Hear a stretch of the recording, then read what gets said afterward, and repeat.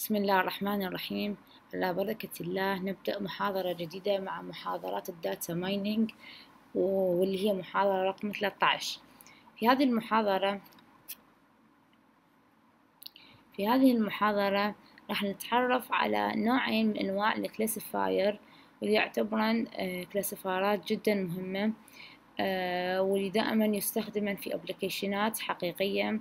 واللي تعتبر هنا classifier آه، يعني أنواع من أنواع الموديلات المؤثرة والمستخدمة في تطبيقات حديثة وفعالة.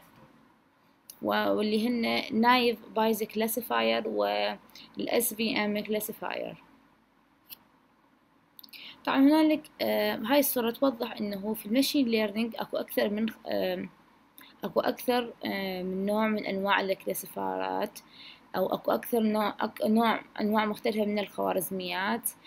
آه، بالتالي إنه الشخص اللي يريد يستخدم واحدة من هاي الخوارزميات في تعليم موديل ما راح يكون عنده أكثر من خيار. فعملية اختيار آه، خوارزمية ما دون الأخرى تحددها كثير من المحددات منها طبيعة الابلكيشن اللي راح ينفذ طبيعة البيانات وطبيعة الإمكانيات. بس غالبا آه، الباحثين آه، قدروا يصنفون آه، كل هاي الخو... كل نوع من هاي الخوارزميات لمهمة ما. يعني لكل قضية أو لكل تطبيق أو لكل مشكلة أكو خوارزمية تكون آه، هي more professional أكثر آه، أكثر فائدة أكثر تأثير دون الأخرى. يعني معناته إحنا نقدر نستخدمهن كلهن لأي لأي نوع من أنواع المشكلة بس أكو وحدة بهن تكون مؤثرة وبتعطي نتائج إيجابية ونتائج مفيدة دون الأخرى.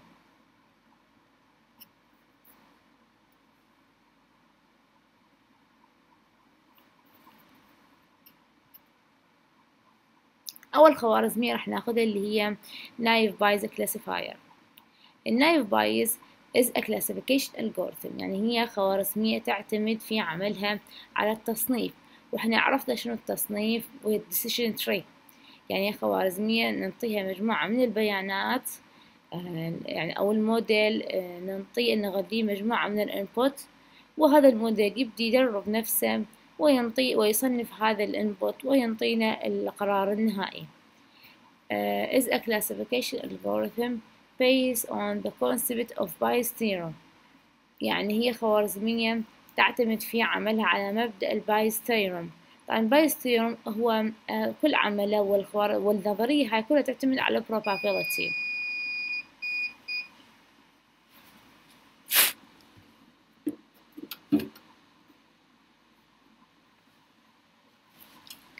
ال Bayes theorem آه، هي نظرية احتمالية احتمالية probability واللي تعتمد عليها آه، خوارزمية ال Naive Bayes algorithm إذا آه، تكلمنا قبل شوية إنه عندنا نقدر نستخدم كل الخوارزميات أو أغلب الخوارزميات لأي مشكلة.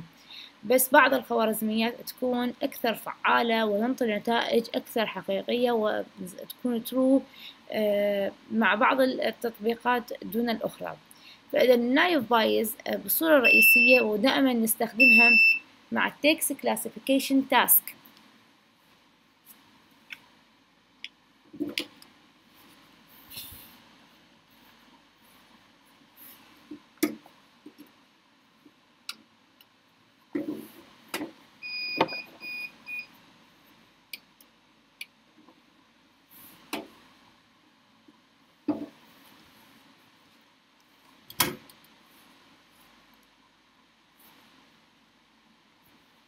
وال text classification task هي هي application ات أو برامج تستخدمها عادة في تحليل الكلام. يعني نفرض مثلا آه انطي نص متكون من ثلاث أسطر أو متكون من سطر بغض النظر عبارة ما وال application يبدأ يحلل هاي العبارة ويحدد شنو طبيعتها. هل هي عبارة aggressive يعني هي عبارة آه شو نقول آه تحفيزية تحفز للعنف أو عبارة محبطة أو هل هي عبارة إيجابية؟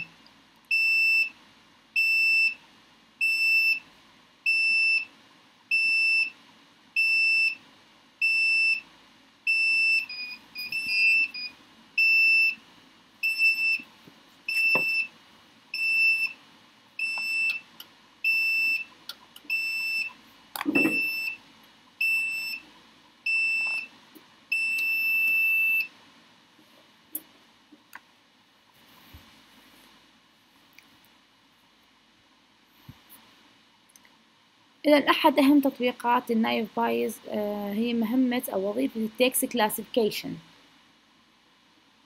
ونقصد بال text classification هي عملية تحليل وتصنيف الكلام. يعني مثلا application ما آه يجمع عبارات من كثير من الأشخاص ويبدأ يحلل آه كل شخص شنو كان قاصد من تلك العبارة. طبعا هو يدي يعطي سمري لهاي العبارة يعني يعطي ملخص مثلا يقول هل هاي العبارة إيجابية؟ هل هاي العبارة سلبية؟ هل هاي العبارة تحفز على العنف؟ هل هذه العبارة آه محايدة؟ ما تنطي رأيمة وهكذا. فهيج أمور وهيج مهام دائما يفضل أو دائما ال Naive Bayes تنطينا نتائج آه حقيقية أكثر من بقية الخوارزميات. بالتالي أحد أهم تطبيقات ال Naive Bayes آه هي أو هو ال text classification task ذكرت أنه ال Naive Bayes آه قانونها هو ال probability أو هي تعتمد على مبدأ الاحتمالية. فبصورة رئيسية هو هذا قانونها. يعني احتمالية ال C بشرط وجود ال X تساوي إن احتمالية الإكس بشرط وجود السي مضروبة في احتمالية ال C تقسيم على احتمالية ال X طبعا هذا قانون احتمالية عام آه يعني مو يستخدم فقط في ال Naive Bayes هو هو Bayesian theorem فهي نظرية تستخدم في كثير من التطبيقات. وال Naive Bayes استفادت من هذه آه أو من هذه الاحتمالية. How Naive Bayes algorithm work شلون آه تشتغل خوارزمية ال Naive Bayes؟ Below I have a training data set of whether a target variable play uh, suggest possible possibility of playing. Now we need to classify whether player will play or not based on weather condition. يعني يقول لي إنه في يعني أكو حنعطيكم مثال. آه هذا المثال آه يحدد هل إنه اللاعب يخرج للعب أم لا في ظل ظروف جوية معينة. نشوف السؤال أو نشوف المثال. عندي أني هاي البيانات. هاي وهذه حالة الطقس. واللي هي sunny overcast rainy وعندي هنا أنا الاقتراحات. مثلا sunny مرة ينطيها no overcast مرة ينطيها yes ومرة ينطيها no عندي ال sunny هنا no وفي مكان آخر ال sunny yes هنا yes وعندي ال rainy هنا yes ومكان آخر no بالتالي يعني الموضوع مختلف. عندي ثلاثة كلاسات أو ثلاثة attribute اللي هن sunny overcast rainy ومرة مرة اللاعب يجي يجي permission إنه يطلع للعب ومرة لا. فأول خطوة شنو أسوي؟ أحول هذا الجدول إلى frequency table. أول خطوة أحول هاي ال data set اللي عندي إلى frequency table. frequency table عبارة عن يعني نقدر نتصوره إن هو جدول مضغوط. آه نخلي بيه ال ال يعني الكلاسات sorry ال attribute اللي عندي. ونخلي أمامهن أنواع الكلاسات.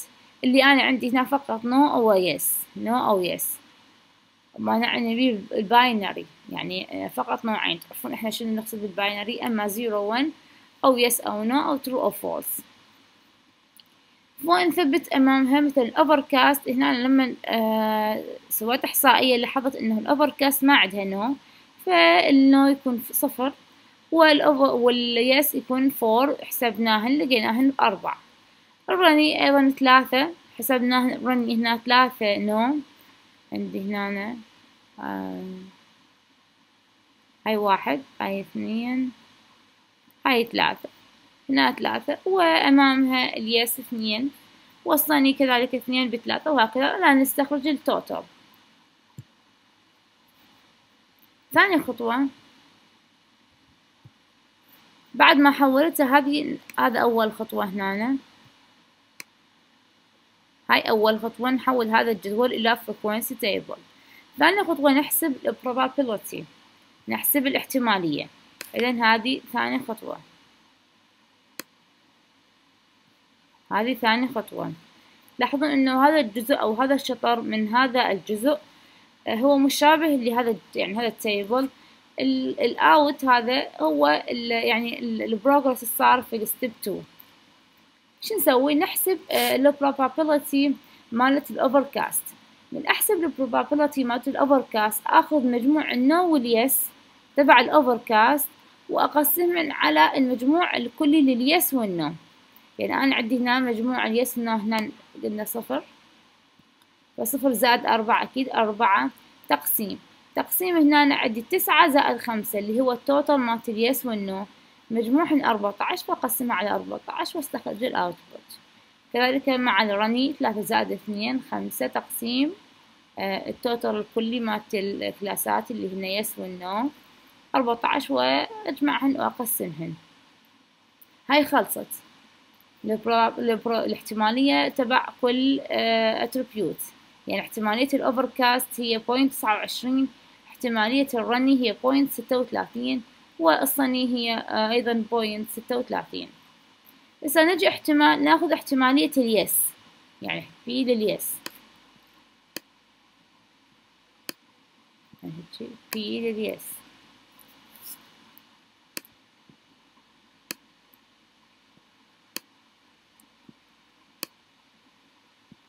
هذه هذه هنا احتمالية اليس. ناخذ مجموع الكلمات اليس تقسيم المجموع الكلي اليس والنو بالتالي راح تكون تسعة على أربعة عشر.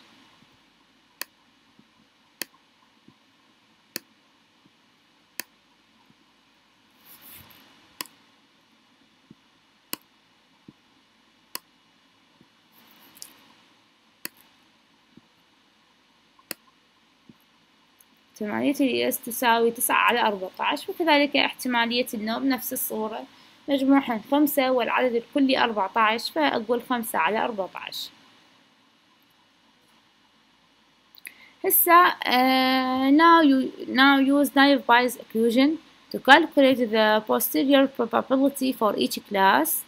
The class with the highest posterior probability uh, is the outcome of a prediction. يعني نبدأ نحسب أو نطبق آه قانون الاحتمالية الخاص بال Naive Bayes ونحسب آه احتمالية آه المشكلة المطروحة أمامي وال class اللي يكون عنده هاي يعني هاي number أو هاي هاي posterior probability يعني أكثر احتمالية هو راح يكون ال outcome أو هو راح يكون الناتج مالتي. فالمشكلة عندي هنا player will play يعني السؤال هذا المشكلة. player will play if weather is sunny. يعني هل اللاعب راح يلعب إذا كان الجو مشمس؟ فحتى نسوي يعني حتى نحل هالموضوع آه نطبق آه أو نكتب نكتب قانون الاحتمالية واللي هو P yes على في حال وجود ال sunny يعني ال class اللي هو yes مع الصني تساوي لنا احتمالية الصني إذا كانت يس بضربها في احتمالية اليس تقسيم على احتمالية الصني. طبعا أنتبه هنا يس مع الصني تختلف عن الصني مع اليس.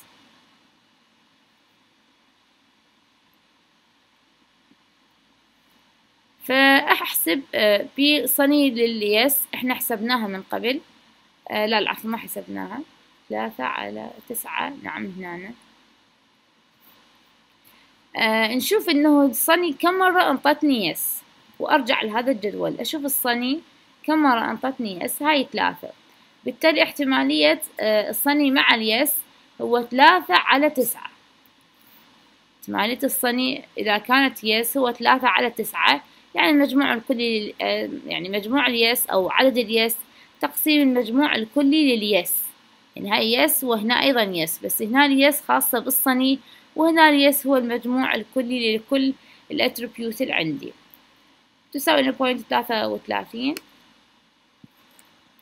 احتمالية ال sunny إحنا استخرجناها من قبل واللي هي خمسة على أربعة عشر واللي هو مجموع آه يعني مجموع كلاسات ال sunny واللي كانت yes زائد ال no. تقسيم المجموع الكلي لل yes وال no. يعني هنا يمكن اثنين بثلاثة sunny نعم اثنين زائد ثلاثة تساوي لنا خمسة تقسيم أربعة عشر. احتمالية ال yes هو المجموع الكلي لل yes تقسيم المجموع الكلي للكلاسات اللي هن yes أو no. يعني هنا yes Y and Y زائد N يعني yes أو زائد no.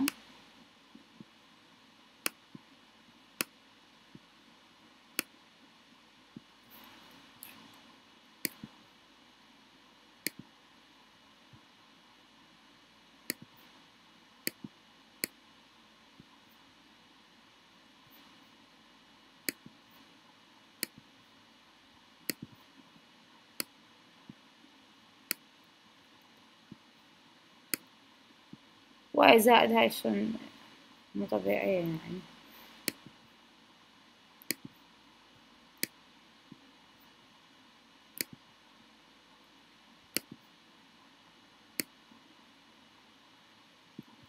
هنا الأربعتاعش هو yes زائد ال no وهنا التسعة هو فقط لل yes وأيضا إحنا يعني وجدناها قبل في ال slide السابقة هو تسعة على أربعتاعش ويكون الناتج point أربعة وستين. آه نبدأ هسه نطبق هذا القانون ونضرب آه ال sunny إذا كانت yes واللي هي point ثلاثة وثلاثين.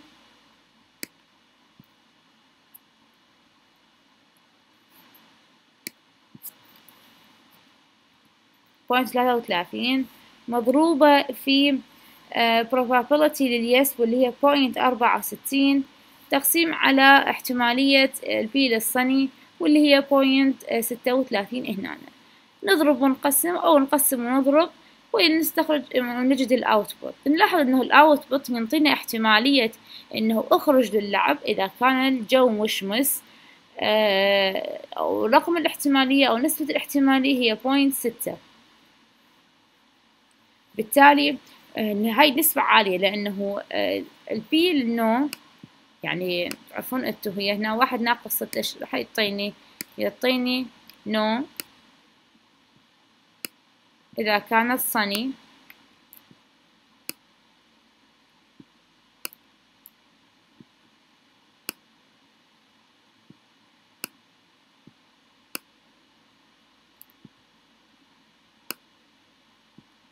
راح تساوي؟ واحد ناقص ناقص الاحتمالية العكسية اللي هي P لل yes واللي عندنا هنا point ستة. فال output عندي شو حيكون حيكون point أربعة. فصارت احتمالية ال no إذا كان ال sunny هي point أربعة واحتمالية ال yes إذا كان ال sunny هي point ستة وإحنا ذكرنا إنه نأخذ ال high الرقم ال high posterior probability نأخذ الرقم الأعلى. بالتالي إنه أخرج للعب وهاي هنا ال option اللي إحنا نختاره إنه أخرج للعب إذا كان الجو مشمس. يعني بعضكم يلاحظ إنه قانون سهل بسهولة يقدر يتدرب الموديل على إيجاد ال prediction output إذا آه ننتقل إلى معرفة ما هي آه ميزات أو advantage و disadvantage الخاصة بال Naive Bayes طبعا خلوها في بالكم إنه ال Naive Bayes نرمز لها بهذا الرمز. يعني خلي يكون في بالكم ال NB classifier هو Naive Bayes classifier. لأن أحيانا آه ما نستخدم يعني الكلمة كاملة. إذا ما هو ما أو ما هي ال advantage الخاصة بال Naive Bayes يعني أول أول خيار إن هي سريعة. It is fast and easy to understand. سريعة وسهلة الفهم. مجرد قانون أطبقه وأحسب وبساعة التطبيق مباشر يكون عندي. ما يأخذ وقت ولا بي يعني فد trick وال option الآخر it doesn't need much training data. يعني أنا ما أحتاج إنه أدرب موديل. قبل ما أبدي أختبره وأطبقه على وأسوي له test وأيضا هالموضوع مفيد لأنه ما يأخذ من عندي much time. ما ياخذ من عندي resource يعني ما ياخذ من عندي جهد ولا ما ياخذ من عندي وقت. لأنه خوارزمية ال Naive Bayes يعني قانونها ما يحتاج إنه أدرب الموديل عليها. ال option الثالث can be used for both multi-class and binary classification problem. يعني أنا في المثال السابق كان مثالي هو binary classification problem. ليش؟ لأن كانت yes أو no فقط اثنين عندي two كلاسات بينما آه أيضا أكو أكو multi-class يعني أكو problem فيها multi-class وأقدر أستخدم ال Naive Bayes في معالجة تلك المشاكل. يعني أنا عندي option ات اثنين أو عندي حرية في الاستخدام النايف بايس مع المالتي كلاس ومع الباينري كلاس الديسادفانتج خوارزمية النايف بايس it doesn't uh, it doesn't work well with the high number of feature. يعني لما تكون عندي features uh, مثلا أنا لسه في المثال السابق كان عندي ثلاث uh, ثلاث هاي يعني ثلاثة numbers من الهيت من ال feature uh, واللي هن rainy overcast وال sunny إذا كان العدد أكبر راح أجد صعوبة في التنفيذ أو في تنفيذ خوارزمية ال naive Bayes أو راح أجد نتائج غلط. راح تنطيني بعض النتائج تكون غلط. هالموضوع شنو سببه؟ سببه إنه خوارزمية ال naive Bayes تعتقد إنه كل feature that assumption that each feature هو مستقل عن الآخر يعني is dependent. وهذا الموضوع هذا هذا هاي الفرضية إنه كل فيتشر هو مستقل عن الآخر بعض الأحيان ينطيني uh, error output. يعني لنفرض مثلا هي ما في المثال السابق اللي أخذناه. هي لما قالت إنه صني أخرج للعب بس مثلا صني بعدها راح يكون overcast أو يكون overcast وصني نفس الوقت. بالتالي أنا لازم أخذ احتمالية إنه ال overcast وال sunny مرتبطات. آه وال output راح يتغير في هذا حالة هذا الارتباط. وهذا الشيء ما فرضته خوارزمية ال naive Bayes. افترضت إنه ال sunny معزولة عن ال overcast بالتالي ما راح تقدر تعالج هذا التداخل الموجود. وهذا الشيء آه راح يولد لي آه يعني error طبعا وهذا الارتباط راح يكبر كل ما كان العدد أكبر. يعني كل ما كان العدد عدد ال feature يكون كبير. وأيضا لا مرات يعني عدد ال featureات يكون أيضا قليل آه، وأيضا تعطيني خوارزمية ال naive Bayes النتائج غلط بسبب إنه اعتمادية هذا هذا ال feature على الآخر. وأيضا آه، بسبب إنه إنه تعامل كل feature مستقل عن الآخر يوم may lose important information while discretize the continuous variable. أيضا إنه خوارزمية ال naive Bayes أحيانا آه لما نسوي ال discretize إحنا ذكرنا يعني ماخذين قبل إنه شنو نقصد بال discretize إنه مثلا في سوق الأوراق المالية البيانات تكون continuous متغير آه بشكل مستمر. فحتى آه استلم هاي البيانات لازم أسوي لها تقطيع أو استقطاع آه في مكان ما وأجمع هاي البيانات. هذا الاستقطاع أحيانا أيضا يؤثر على إداء عمل ال naive Bayes. ليش؟ لأنه هي تفترض هذه يعني هو في الحقيقة هذه هاي ال data هي معتمدة واحدة عن الأخرى وال naive Bayes هي تعتبرهم منفصلات. بالتالي هالاستقطاع راح يفقد لي مجموعة من ال important information ويفقد لي ال prediction الصحيح. يعني ما راح تقدر تحدد ال prediction الصحيح. هاي أهم advantage و disadvantage الخاصة بال naive Bayes خوارزمية سهلة وواضحة. ننتقل إلى الخوارزمية الأخرى اللي راح ناخذها اليوم إن شاء الله وهي support vector machine ونرمز لها SVMs What is an SVM? Support vector machine, are set of supervised learning method used for classification regression and outlier detection.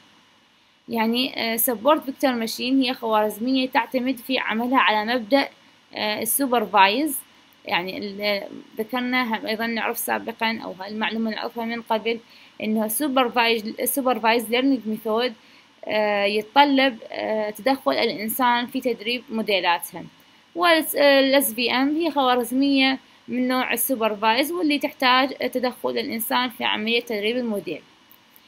هسه إحنا إنه أيضا خوارزمية ال SVM ممكن نستخدمها مع ال classification problem مع ال regression problem ومع ال outlier detection ال outlier detection إحنا عرفناها سابقا إنه مجموعة من البيانات تكون آه يعني نجمعهن ونبدأ نحدد الأوتلاير أو البيانات اللي تكون شاذة وبيانات تكون غريبة عن المجموعة ونطرحها خارجا ونخلي فقط البيانات اللي تكون متشابهة.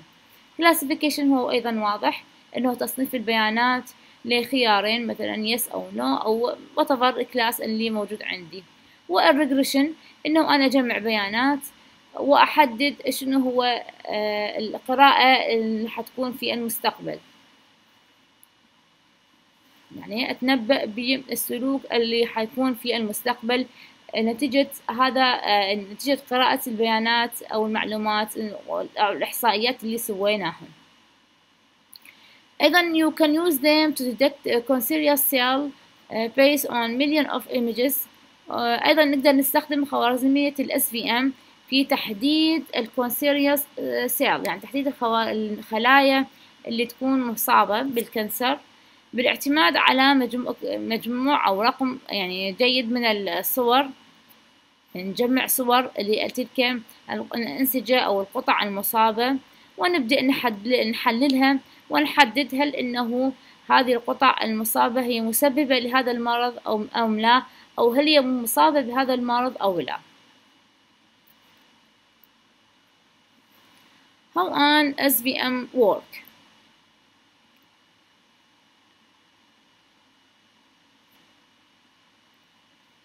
بصورة مختصرة إنه ال SVM كيف تعمل؟ آه، أساس عملها يعتمد على رسم line simple line ما بين ال classات. يعني عندي classين عندي هنا مثلا class وعندي هنا class خلينا نقول هيك بلون آخر. ال SVM تعتمد على رسم line يفصل هذا ال class عن هذا ال class uh, working uh, by making a straight line between two classes That means all of the data point on one side of the line will represent a category and the data point on the other side of the line will be put into a different category يعني البيانات اللي هنا موجودة في category مختلف عن البيانات الموجودة هنا في ال category الآخر واللي يفصل ما بيناتهم هذا ال line واللي نسميه بال boundary. زي ما تشوفون هنا هذا نسميه بال boundary.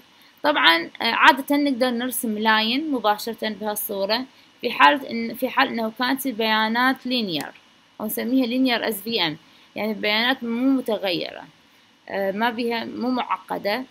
بيانات سهلة الفصل بواسطة هذا ال line فنسميها SVM أحيانا لا البيانات تكون معقدة نتيجة إنه يعني بيانات continu continuous أو بيانات تكون يعني مو مو linear مو خطية تكون غير خطية. بالتالي أنا أفصلها بال hyperplane boundary وال hyperplane boundary يكون بهالصورة يعني أنا مو فقط linear أقدر أستخدم linear SVM معنا؟ linear SVM الآن عندي نوعين SVM أقدر أستخدمها في فصل البيانات الخطية و non SVM واللي أستخدم بال hyperplane boundary لفصل البيانات. How do we draw line? كيف نقدر لو نفرض أنا عندي هاي ال linear أو هاي البيانات وأريد أعرف شلون أرسم line يفصل أو boundary line يفصل ما بين هاي ال classات أو هاي ال categories في أول خطوة أحتاج إنه أحدد طبعا هو ال output راح يكون بهالصورة بس أول خطوة أحتاج إنه أحدد آه ال outlier أحدد ال outlier data ال outlier عندي هنا راح تكون هي هذه الدوائر الخارجية واللي تكون يعني آه، هنا هاي الدوائر بالنسبة لهذا ال class تكون أبعد شيء وبالنسبة لهذا ال class إنه تكون هذه ال هاي ال يعني هاي ال هاي ال data أو هاي ال items فبالبداية أحتاج إنه أحدد ال outlier data أو ال outside data هنا حددناهن بعدين أرسم line طبعا هال line يتميز أو يجب أن يكون. على مسافة أبعد ما يكون من هاي البيانات واللي هاي المسافة يجب أن تكون مساوية لهذه المسافة. يعني هنا أنا من هنا لهنا لازم يكون مساوي للمسافة اللي هي من هنا لهنا الموضوع نقدر نحدده إنه نحسب المسافة من هنا لهنا ونقسمها على اثنين بالتالي نقدر نجد أو نعرف آه، قد هاي المسافة وشلون نرسم هذا اللاين. آه، بعض الحالات إنه آه، تكون خطأ. مثلا أرسم ال line بهالصورة. خطأ ليش؟ لأنه المسافة اللي هنا هي أقل من sorry أكثر من المسافة اللي هنا بالتالي المسافة وهنا بالتالي هالموضوع غلط. فما أقدر أستخدم هذا ال line أو هذا هذا ال draw يكون غلط. ينطيني نتائج مو صحيحة. عندي أيضا line بهالصورة هذا هم مو صحيح. وعندي هذا ال line. هذا ال line يكون صحيح. ليش؟ لأنه آه، حددنا ال outlier واللي هي منا هنا وهنا هاي ال outlier data وأيضا هاي ال outlier data بالتالي ال line آه، المطروح عندي يكون بهذه الصورة. يعني هنا صح وهنا no no.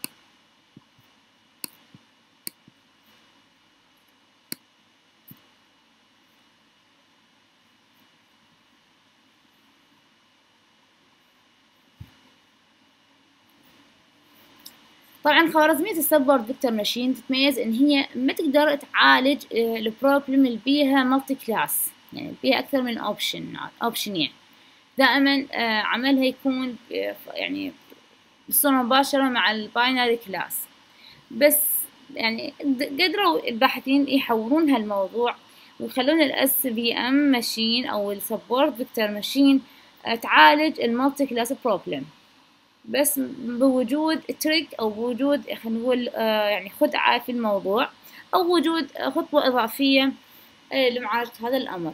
لنفرض أنا عندي class أو problem فيها ثلاث أنواع من ال classات هنا وهنا وهنا. عندي هنا ثلاثة.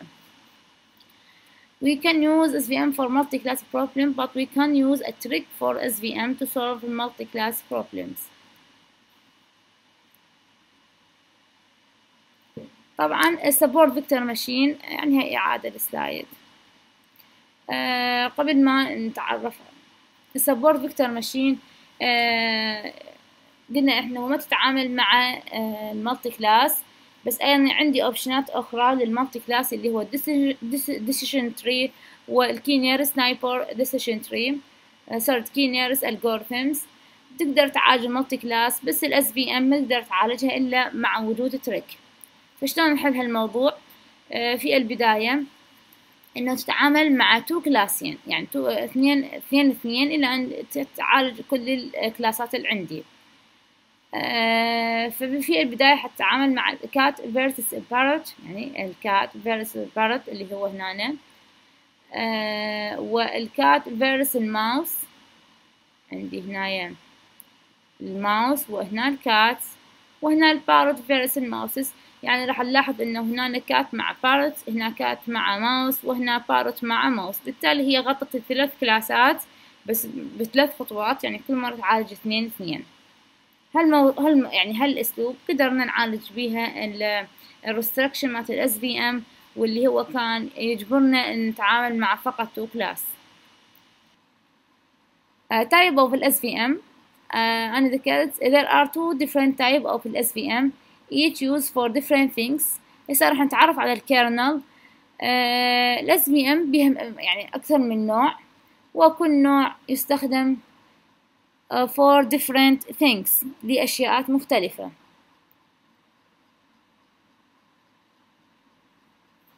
النوع الأول اللي هو simple SVM واللي عادة يستخدم for linear regression هذه classification problem.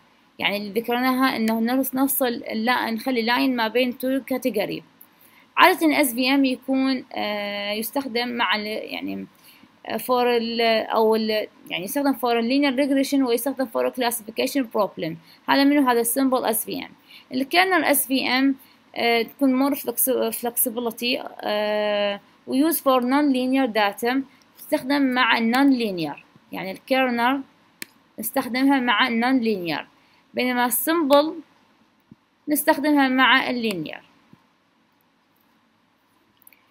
آه، استخدام ال kernel SVM مع ال non linear يمكنني إنه يعني معالجة آه، العدد الكبير والمتداخل من ال features الموجودة.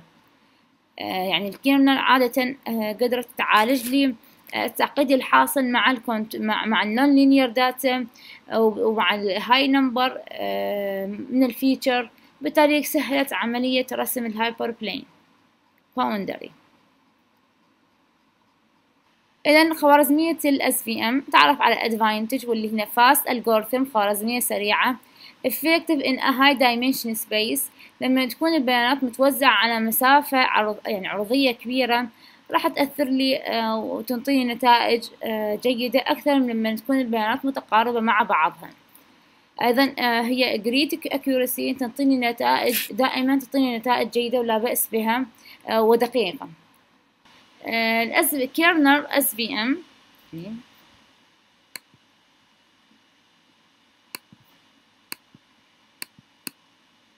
kernel SVM استخدامها يعزز لي النتائج ويعزز لي أداء ال model. work very well with the clear margin of separation. إنه تعمل لما يكون عندي ال margin اللي هو هذا اللي هو ال margin المسافة ما بين هذا ال class وهذا ال boundary وهذا ال class وهذا ال boundary نسميه بال margin. لما يكون المارجن واضح وسهل في الإيجاد يعني ممكن معقد أو بالتالي راح يكون أحيانا يكون مو صحيح. فلما يكون واضح راح ينطي نتائج جيدة. وأيضا تستخدم ال SVM مع كثير من التطبيقات. راح نقف في نهاية هذه المحاضرة. عندي disadvantage. Doesn't perform well with the large data set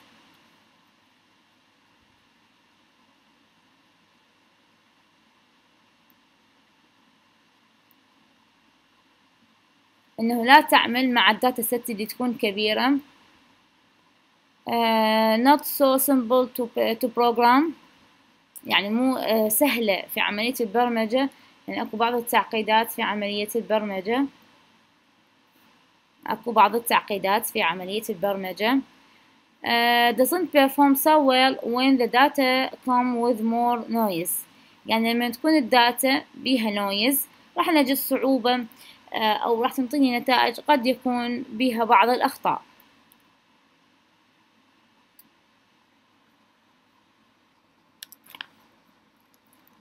ال SVM application واللي هو تقريبا الستايل الأخير عادة ال SVM تستخدم مع ال hand written recognition.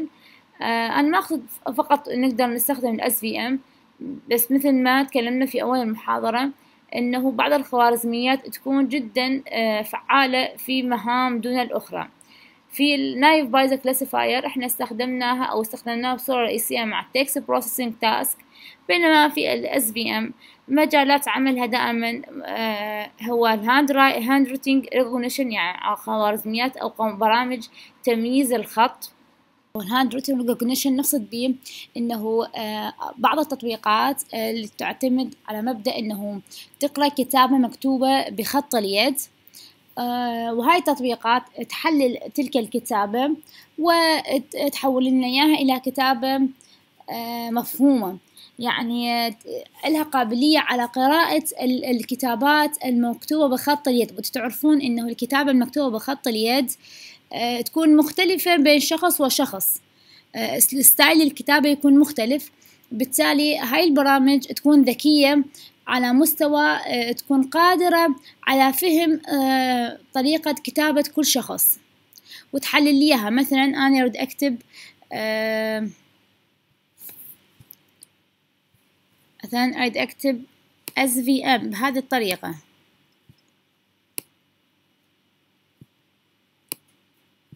أو أكتبها بطريقة أخرى مثل هيجي S V M.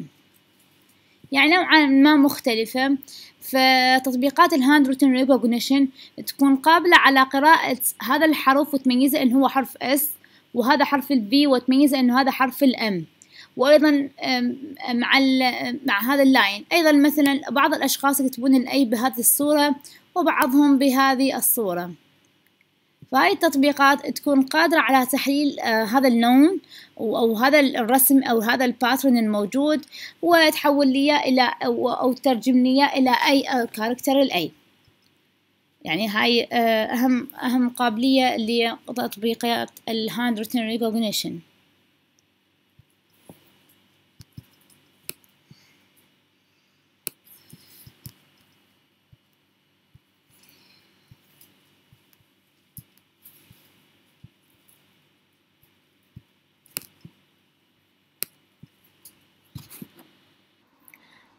برامج تحديد الأوجه يعني أنطي صورة أو فيديو وهذا الموديل يحدد لي الوجه وال option الآخر هو ال email classification يعني بعضكم قد يلاحظ أنه في الجيميل هناك تطبيقات مختلفة للإيميلات اللي. اللي مثلا بعضهم ال promotion الترويجي بعضهم ال spam بعضهم آه يعني التجاريات وهالأمور فهذا التصنيف إنه كل إيميل آه مثلا ترويجي الرسائل الترويجية تروح على ال promotion بعضهم يروح على ال spam. هذا التوجيه لهذه الرسائل آه أساس عمله هو ال email classification models واللي آه هاي هاي الموديلات أو هاي هاي البرامج يعني تحاول إنه تحدد تقرأ الرسالة وتستقطع بعدين يعني هيك أساس عملها إنه تقرأ الرسالة بعدين تستقطع هو ما تقراها تستقطع ال sender المرسل وتستقطع ال content الرسالة وتدرس سلوك هذا المرسل. هل هو دائما يدز رسائل ترويجية؟ فإذا كان رسائل دائما يدز رسائل ترويجية بالتالي عملية إرسال هذه الرسالة للمستفيد أو للمستلم راح يعني راح تنزل رسالة في ال promotion class بينما مثلا إذا كانت تجارية أو إذا كانت يعني وطفر الرسالة أيضا بنفس الأسلوب هذا الموديل أو هذا ال application راح يقرأ أو يحدد طبيعة هذه الرسالة ويدزها في ال category الخاص بها في إيميل المستلم.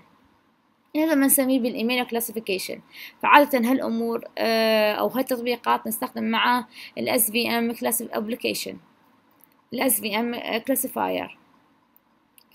التطبيق الآخر اللي هو gene classification آه إنه ال gene classification مثل ما ذكرت إنه آه أحيانا ال SVM نقدر نستخدمها في تحديد آه الخلايا المصابة وتمييزها عن الخلايا الغير مصابة. وأيضا نقدر نحدد هل إنه هذه الخلايا كانت سبب في الإصابة أم لا. طبعا بواسطة application ات أو برامج تستخدم مجموعة من الصور وتبدأ بتحديد تلك الصور وتحدد طبيعة ذلك الديزيز.